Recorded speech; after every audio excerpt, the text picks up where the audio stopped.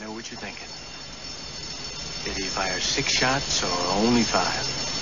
Well, to tell you the truth, in all this excitement, I've kind of lost track myself. But Ian, this is a 44 Magnum, the most powerful handgun in the world, and would blow your head clean off. You've got to ask yourself one question. Do I feel lucky? Well, do you, punk?